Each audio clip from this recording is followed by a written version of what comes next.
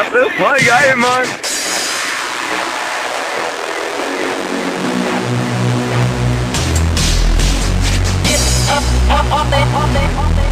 Das war The Fast and the Bobby Corp.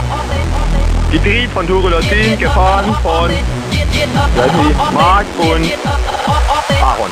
So, die Namen haben kennen mich.